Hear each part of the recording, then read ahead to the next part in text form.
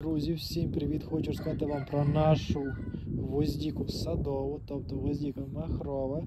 Ось такі саджанці гвоздіки у нас є в наявності. Гвоздіка росте у двох кольорах: це рожевий та білий колір. Бачите, в неї така поверхнева коренева система. Самі саджанці гарно розвинуті.